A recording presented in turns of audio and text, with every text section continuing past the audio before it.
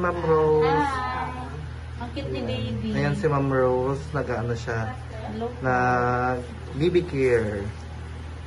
baby Ayan, care. ano, Laki niya, baby girl. 2.5 kilos din siya. wow, pangatlong baby po ito ni Ma'am, Yes, pangatlo. ni Ma'am Ma'am. Miano. Very good. Very good ang maternity clinic na to. Wala kang pulis. Yes. And kalulot yan. Kayakin mo nga. Iyak na harap mo yung likod kung iiyak si baby. Oo naman, iyak yan. Diba?